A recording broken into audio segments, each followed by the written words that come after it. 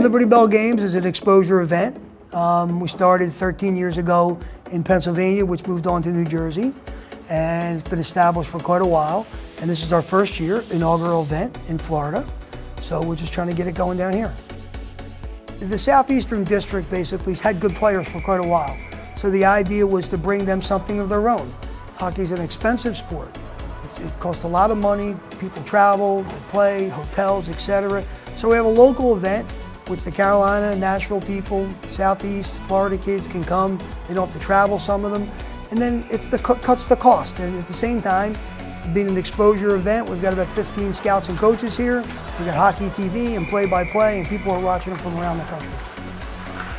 You know, we jazz the logo up. It's all kind of rainbowish, summerish, you know, and everybody loves Florida. It's warm.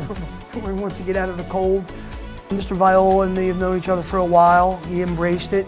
Um, he wants to grow the sport and wants the game to get better, quicker, faster for the kids to allow it to grow and get exposure for kids to move on and someday play in junior and college.